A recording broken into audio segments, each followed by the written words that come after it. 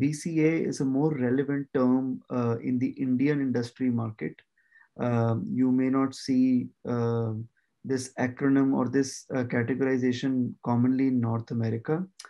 Um, the so, uh, but if I was to still um, uh, place BCIS, I would say I would place BCIS higher than a BCA and slightly lower than an engineering degree. So somewhere in the middle.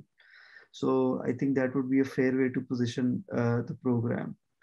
Uh, the BSc in computing science and, and BCIS are actually very parallel in their approach, uh, where the computing science goes into sort of a deep dive uh, into the, uh, I would say, the, the coding side, but BCIS remains sort of general. And you can transfer from a BCIS to a computing science degree anytime.